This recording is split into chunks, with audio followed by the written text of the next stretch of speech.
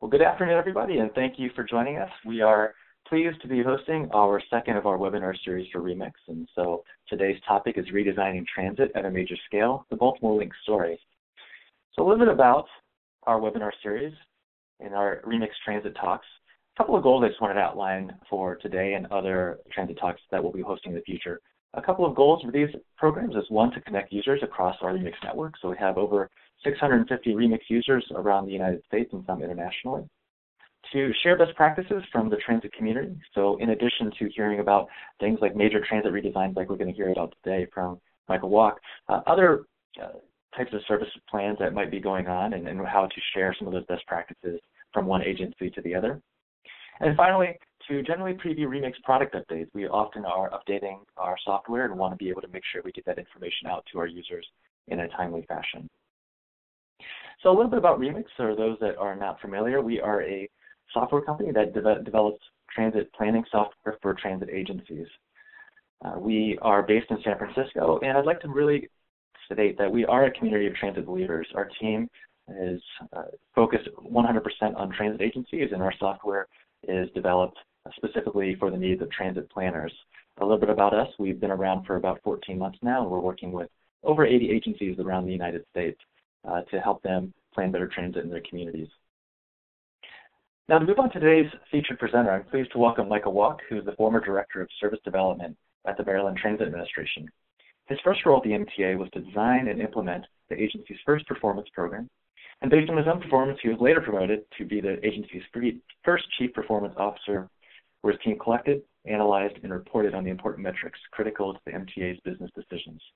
Through his efforts, MTA was able to cut its operational overtime budget by nearly half over four years, which equates to about $30 million. He later went on to oversee the team's service planning department that included the responsibility of a nearly $2 million operating budget and a staff of 38 people. In this capacity, Michael led the Bus Network Improvement Project, or BNIP, which we'll describe a little bit more in today's presentation. Most recently, he has taken a new role as a transit researcher at the Texas Transportation Institute in Austin, Texas, where he'll apply his love for transit, analytical, and leadership skills to benefit transit agencies across the United States. And with that, I'm pleased to introduce Michael as our first presenter. All right, thank you very much, Paul. I appreciate that.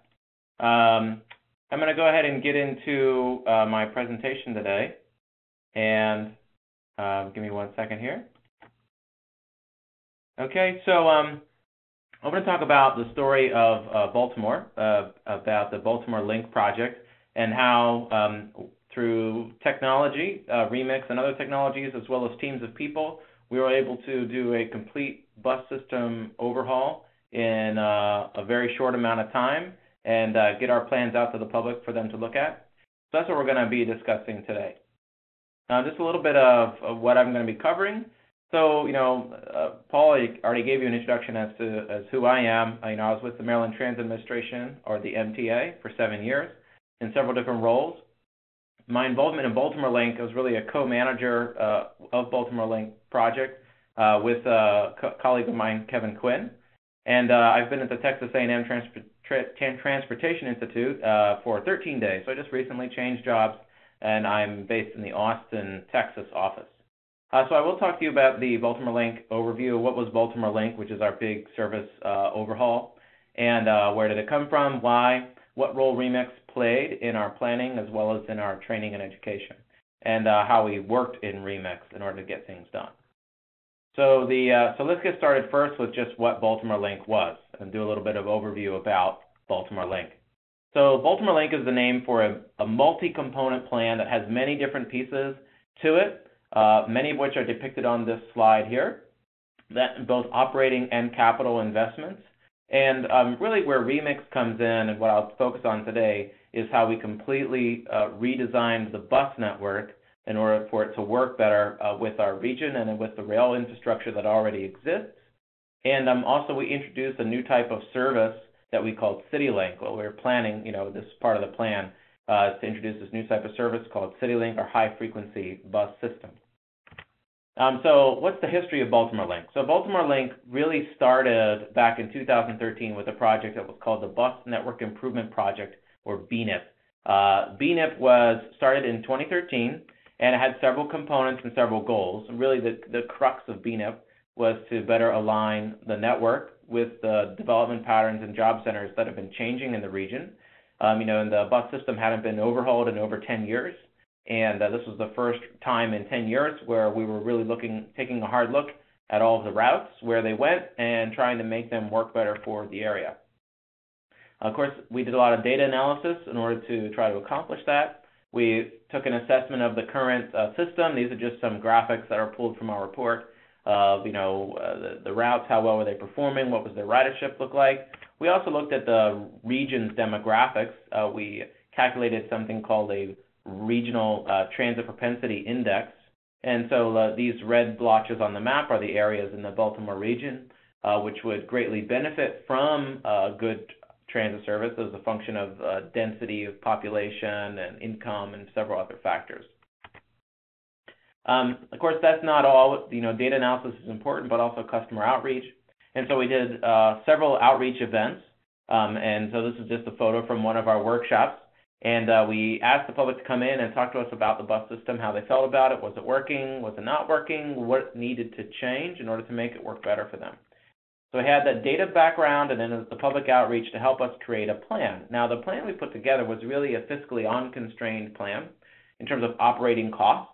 Uh, we, you know, we weren't allowed to add any significant capital expenses, like we couldn't build a new rail line or a BRT or anything like that. But it's really, we could add more service. And, and uh, part of what happened with uh, BNIP is that the cost of the plan to fully implement it uh, was more than uh, the times could bear. And so really the, the BNIP plan uh, got stalled due to financial and political issues. And so in Maryland, we had a lot of turnover um, in the political ranks and changes of administration from the governor of the state all the way down to the uh, leader of the MTA. And so for a time, we thought BNIP was kind of on hiatus or in purgatory or pick your metaphor, and uh, we weren't sure what was going to happen with it. Um, and just trying to keep it alive as best we could. And then all of a sudden, um, it was reborn. Uh, so BNIP, you know, uh, came back to life. And uh, we had a new administration at the MTA that was really, really interested in improving bus transit. They wanted the system to work better, and they wanted to lift up the region with uh, good transit investments. They were willing to actually spend money on public transit and make it work better. And so they, uh, you know, not only were they interested in getting this, in, in getting a plan done, they wanted to get it out to the public very quickly. And so um, all of a sudden, after a long, long time of nothing, um, we then were given the mandate to create a whole new plan for the region, um, and we had to get it out in less than 60 days. And uh, so, of course, you know, from transit planner time, 60 days is not a whole lot of time, and uh, so we had a lot of work to do, and it wouldn't have been possible without the technology that we had and the teams of people working on it to get it done. So we really took BNIP's D- DNA that data that we did and the public outreach, and um, we added a multimodal focus. So we had the improvements to train service, and then we had bike improvements and several other pieces. We put that all together and packaged it up, created it as Baltimore Link. With Baltimore Link, we also had additional goals and an added focus. So one of the additional goals under Baltimore Link uh, that wasn't present for BNIP was uh, to keep operating costs level. So our goal here was to try to redesign the, the, the bus system and the train system without adding significantly to operating costs. We tried to keep the service about the same across the board. And uh, we also wanted to implement a frequent grid of service and make that service easy to understand. So that was, you know, part of our approach under Baltimore Link that really wasn't present under BNIP. So when we released the Baltimore Link uh, plan to the public, um, you know, it had several different components. These just kind of give you an overview of the different types of service that we were proposing. We rebranded all of our services under the the the uh, the Link brand, and so we had three different types of bus service. We have a City Link, uh, Local Link, and Express Bus Link. And I'll unpack uh, these a little bit for you, as well as our paratransit service and then our subway and light rail lines. All of these services share the same fare structure pretty much, and so um, it made sense putting them all together, and they all serve the core of the Baltimore metropolitan region. So I wanted to unpack the CityLink. CityLink was a was a particular important concept to our service plan under Baltimore Link, and it was the introduction of these high frequency routes. And uh, there were 12 of them altogether in our original plan. They were color coded. They operated 24 hours of service per day. And um, they served the major regional corridors in the Baltimore uh, region. And so the map on the left here just kind of gives you an idea. Now, uh, in terms of scale, I'm sure it's hard to understand exactly what you're looking at. But um, Baltimore is served by several major radial arterial streets that all feed into the downtown area. We don't have a lot of interstate pass-throughs. And so a majority of the traffic that's trying to get into the downtown area uh, is coming in along these arterials. And that's also where the city built out a lot of its density is along these arterial streets. And so that's a great places to put transit. And so we put high frequency transit there called CityLink, our CityLink routes. Those CityLink routes all serve those radial corridors that come into the downtown region. And then here on the map on the right is a zoom in of the gray of this downtown area here on the left. We're zooming in and looking at it on the right. And so it basically forms a high frequency transit grid of CityLink services in that downtown central Baltimore area that includes the CBD uh, as well as other key areas in the Baltimore region. Every one of these CityLink routes we planned in advance um, and succeeded that they all would touch each other. That is, every CityLink route connects to every other CityLink route, and every CityLink route also connects to light rail, our, uh, our light rail line, and our metro line. So it creates a sort of one transfer system where you're guaranteed that if you're on a CityLink route, you can get to any other bus stop on CityLink or any other train station in one transfer. Um, and so that was our premise. The CityLink kind of formed the skeleton, the back, uh, the rib cage, so to speak, of the transit system. And then there's lots of other routes that fill in the gaps where um, where those don't run. We call those local link. Now, um, this is just a, an idea on how we restructure the Central Baltimore network. And uh, you can see here as a map, we have all these uh, current bus routes. That's today's service uh, before Baltimore Link that gets implemented, uh, coming in from our radial streets, and pretty much everything um, in the in this region comes in and funnels in through a basic sort of transit mall that's been set up here on a couple of major streets uh, traveling east-west. Now, uh, the big problem we have with that is the facilities in this area just aren't large enough to accommodate the bus volumes, and so our buses actually have bus-on-bus congestion all the time in this corridor and uh, creates a lot of additional delay and not everybody's trying to get down to that area. So we decided under Baltimore Link to spread the high quality service out. Like don't funnel it all down into this small area uh, right in the CBD, but let's also, let's serve the CBD, uh, which is actually uh, really located right in here. Let's serve that, but then also still spread the wealth of the service throughout the rest of the city, making the city someplace easier to live in and get around in. And so this is the CityLink service uh, and zoomed into that downtown area. And I just like switching back and forth between these two maps because hopefully you can get the big difference in terms of the grid, um, the, the continuity of travel east-west and north-south across the different corridors that wasn't really present in the previous network. And that's one of our proudest accomplishments is pulling off this high-frequency grid of CityLink routes. Now, um, just in terms of what we accomplished, you know, as the plan as we released it, um, we really focused on frequent transit, so we we, we improved the uh, number of jobs and people that have access to frequent transit lines. There's 37% more jobs and 34% more people will have access to frequent transit under Baltimore Link. We also increased the amount of service we have on the street, and you can see some of the statistics there regarding service area and uh, how many people will have access to transit. We still maintain uh, current rider access to transit over 99% actually We'll still have access to transit within a quarter mile. And uh, so we're really proud of that accomplishment, sir. You know, we know that it isn't perfect yet, and we went to public comment and all. And I'll talk a little bit about that in terms of what we did for public engagement. So we released the plan back on October 22nd of 2015. Uh, we started immediately an online engagement website using a platform called My Sidewalk. And uh, that site is still up uh, and uh, at least effective February 8th, 2016 and um, hopefully will be up for the remainder of the Baltimore Link uh, engagement. We also conducted a total of 13 workshops, and uh, these are just, uh, we held those workshops throughout the uh, Baltimore region. You can see a map of workshops here. And um, these workshops were very well attended. We had a lot of people come out. Um, this is sort of a panorama of one of our workshops. Uh, we had a, these uh, hands-on maps and comment stations where people could come learn what we were proposing, and then also uh, provide comment right there using laptops or cards. Um, and some additional staff looking at a full system map of our proposed network. We also held uh, pop-up events, we call them. Uh, we held a total of four of them at major transit hubs. Basically pulled this bus out Um, inside the bus uh, was all of the uh, maps of the system that we are proposing and all the information about the individual routes. So people didn't have to go to the workshop. They could just come on board our bus right there and uh, come inside, learn about what we were proposing, talk to staff, and still had comment. We had laptops on board the bus. People could provide comment right there. And uh, so this public engagement period ended, you know, the comment period ended January 11th, and uh, we actually extended the comment period. Originally, it ended off on December 23rd, but we extended it here to January 11th. Now, uh, where is Baltimore Link right now? Well, so the, the MTA team is currently finalizing the network design based on the comment we got. The uh, revised plan is due out this year, and of course, the goal, um, as of the time I left the MTA, was to implement that entire change, all the new routes, uh, by June of 2017. So hopefully I'm still accurate in that. Of course, it's been a, a few, it's been over a month since I've been at the MTA, uh, but that was where we left it uh, when I moved on to the Texas Transportation Institute.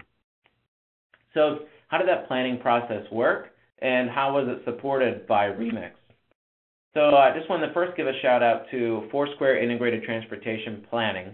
I put their website up here. You know, the, they are they were our main planning consultant on this on this project and they did the majority of the heavy lifting when it came to actually putting the service plan together. It wouldn't have been possible without them and their help, and they dedicated a lot of staff time in a short amount of time to help pull this off.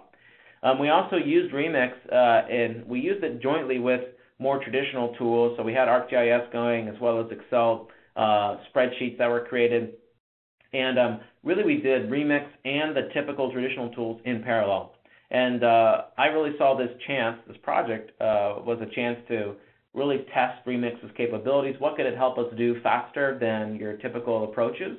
And, uh, and um, how well does it work in this type of environment? So uh, we did both at the same time using ArcGIS, Excel, and using Remix. And um, so we accomplished quite a bit with that. The two main ways that we really ended up using Remix the most uh, during this project was during planning and um, also internal education and outreach. And I'll just unpack that a little bit. How did Remix help us make planning decisions? Really, in two key ways. Um, you know, it was helpful to us when we were debating route alignments, like, you know, should we put this route over here or over there? Which street should we go? Obviously, you know, which street you put a bus route on requires local knowledge of street infrastructure and pedestrian infrastructure and all that as well. Um, but when it comes to aligning routes in the most efficient way in the most high density corridors, Remix has a lot of tools to help you um, assess that. We also use Remix uh, to help us plan uh, a network design. We're having a network design debate. So I'm going to dive into these sort of two examples. We'll start with the network design example.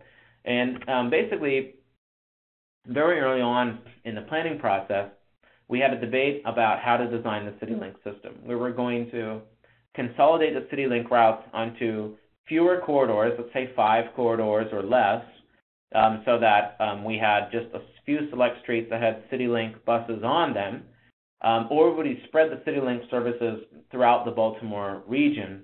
Uh, and so that was the uh, ongoing debate we had in the beginning.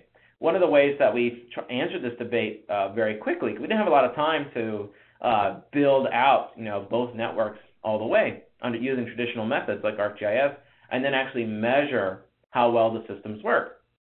So we um, could, but you could very quickly whip up a transit network in Remix and uh, and then compare uh, you know the network you build in Remix like network A and network B and you can compare them together and look at how well they perform.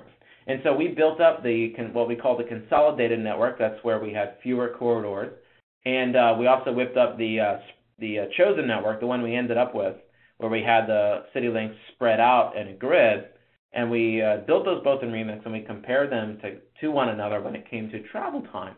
And so we would uh, use a tool called Jane and drop Jane on a map uh, on the uh, consolidated network, and we drop Jane on the exact same map in the final chosen network, and look at how far Jane could travel. And so um, here's a screenshot of um, our actual work there where we uh, we would put Jane in, in particularly important places that we knew um, were important. And the one example here is Cherry Hill in Baltimore. Cherry Hill is a region of Baltimore uh, that has high transit propensity, um, and but it's also very isolated. So they really need good transit down there, and um, it's very tough to get to.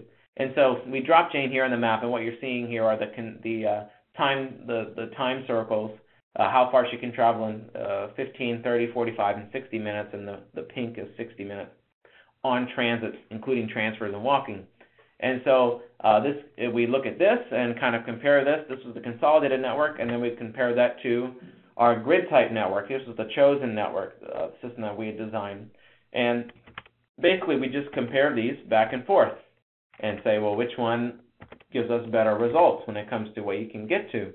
And uh, the chosen network delivers transit or um, adds into your transit sheds these three places that currently, that previously were unserved under the consolidated network. And so I'll just point that out one more time. So this is the consolidated network, the one with fewer corridors. The network we went with, the one um, with the grid, and uh, you know there are particular areas that are added to the transit um, shed, and we knew these areas were important for Cherry Hill. And so we said, hey, this is a, we need to go with this network. So let's let's look at another place. You know, we can't let one location determine our entire network design. So uh, another example was the Amazon distribution center, was which um, opened um, um, uh, a major warehouse with 2,000 or 3,000 employees in Southwest Baltimore. And so we looked at that area as well, and we looked at several others, but this here is a second example. And so this is how far Jane could get on the consolidated network um, and then how far she could get on our grid or our chosen network. Now the difference between these two is really obvious. I don't think I need to put ovals on it in order for you to see. Now some of that's based, you know, uh, on a it's based on a lot of factors, but um, this we dropped Jane in several other locations throughout Baltimore, and then you know by and large we said, you know what, every time we've done this, the the weight of the transit shed is in favor of our chosen network, the grid type system uh, improves travel times far more far more than the consolidated network. And so that's what we ended up going with um, with our, uh, our our basic network design, and we filled in the holes from there. So uh, Remix was really really valuable to help us with that. Um, also with route design. So uh, you know when you're talking about route design, you're really getting down to the nitty gritty about which street am I putting this on, where am I putting the bus stops. And so when you're trying to pick a route alignment, you know, obviously there's lots of different ways you could connect from point A to point B. And uh, hard to do if you're just looking at a map, uh, you know, and you don't really have data to back up exactly where the route should go. And uh, there's these data layers in Remix that you can easily turn on and off um, that are very, very valuable to transit planners. This, for instance, is population density of the same exact um, area. And so I can see that I've planned this transit route um, and hitting the pockets of high density pretty well. You can also look at low income. So this is uh, the uh, density of low income um, households and also the density of car-free households. And these layers are all available um, built into the Remix tool. And so we could quickly turn these on and look at our alignments and say, well, you know what? We need to change this alignment because we're missing this high density area or this low income area over here. And so you, you know you can kind of draw the most efficient line to hit the best areas.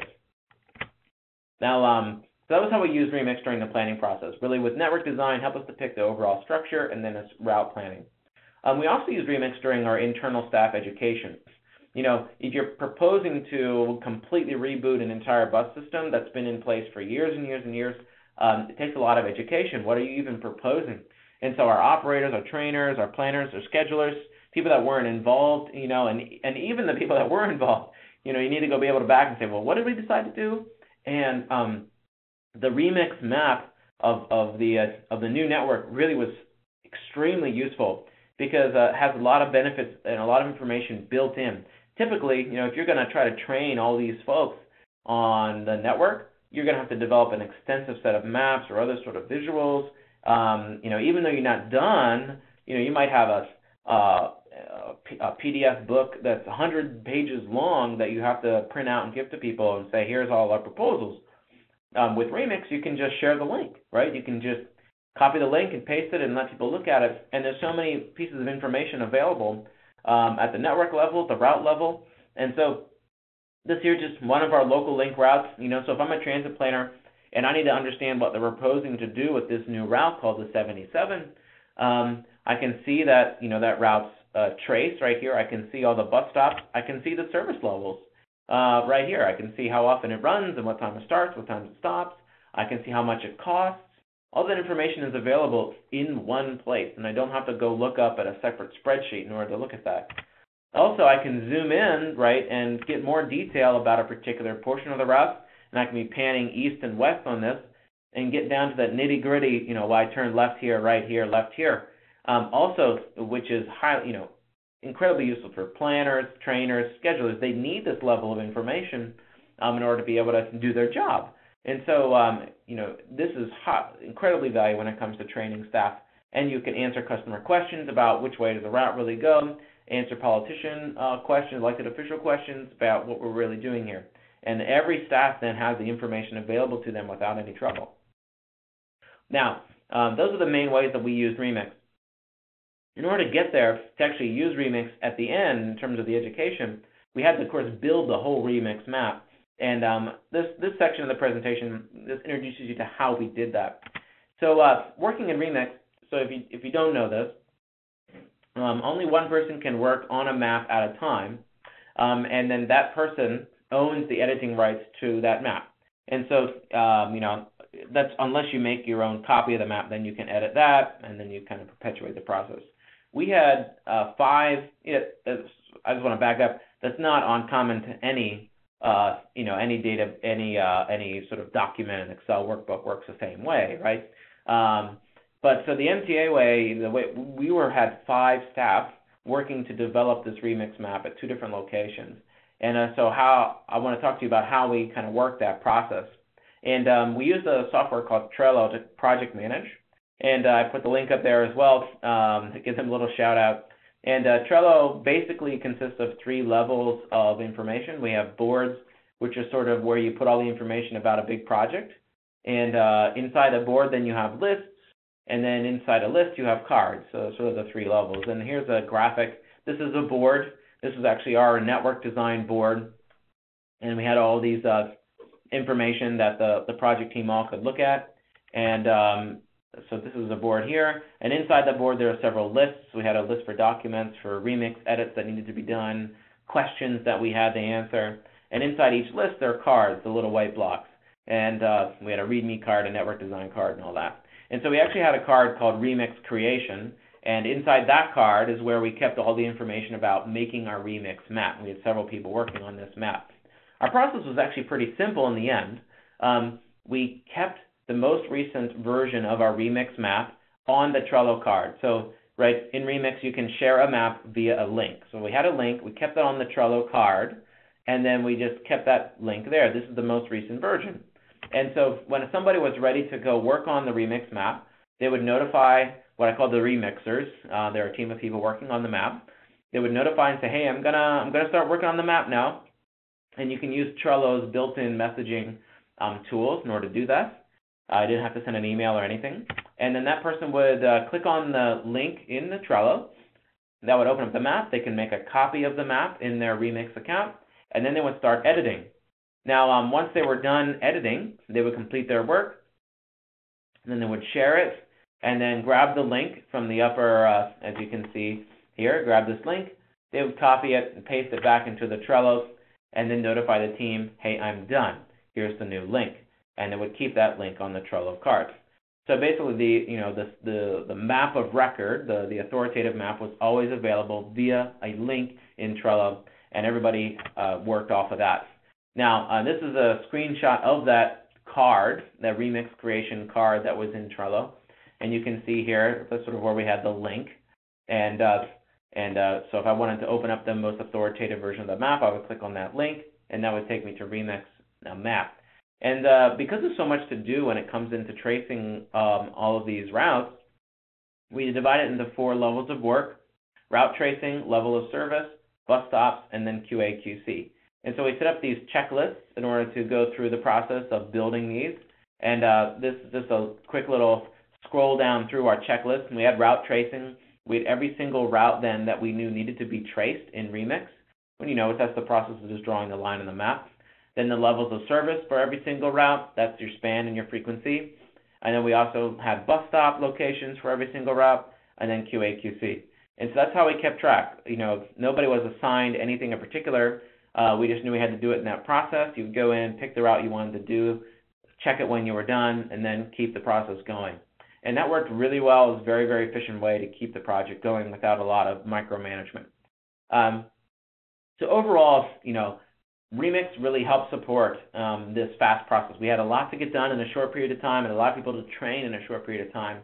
Um, and so the two big gains we had with Remix, we know, was we were we were able to analyze competing network designs very easy, very early on, with, without a lot of work and investment. Basically, we did that network comparison we did uh, the consolidated versus the full network, the one we chose. It took us a day, right, to really do that, and that's not a waste of time. Um, and uh, so it was really easy to, to put that together. Um, also, you know, it supported our internal outreach. You know, when I could pass that link around, people did not have to have ArcGIS installed on their machines. They did not have to have any skills in ArcGIS. They didn't really even have to know how to use Excel. Everything was just there on the Remix map at the network level, the route level, the streets, and the stops.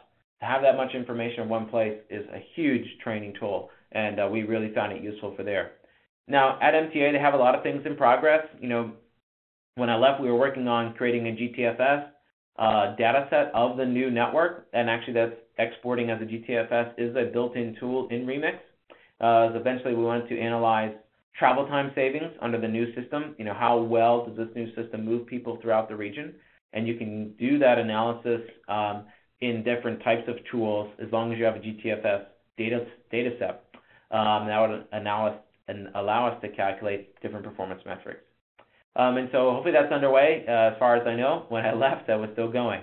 Um, so at the bottom of this here, you, you have my contact information if you have other questions for me, uh, my email address, phone number, and then the link to the, uh, the group where I work at the Texas Transportation Institute, or TTI.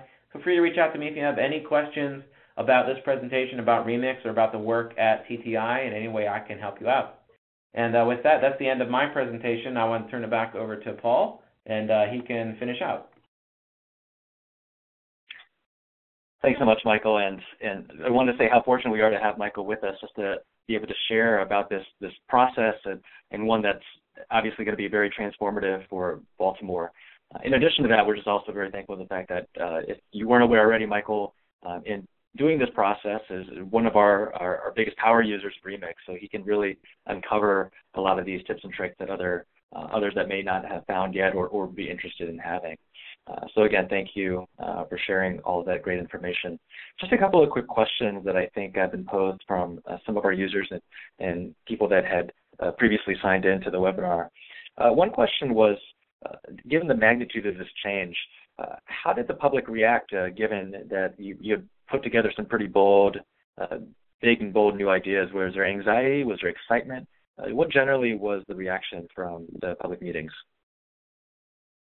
That's a really good question. Um, we had sort of the whole gamut. Kind of depend on who you asked. You know, we had a lot of excitement um, because it was finally doing something for the Baltimore bus system, and people really wanted to see an improved transit system. There's been a lot of articles about how the transit system in Baltimore is holding back people from opportunity. Um, and so there was a, there was a lot of excitement. Um, in fact, I even had bus operators coming up to me and you know saying, "I'm so glad you guys are doing this. About time. Thank you so much. I hope this really gets through."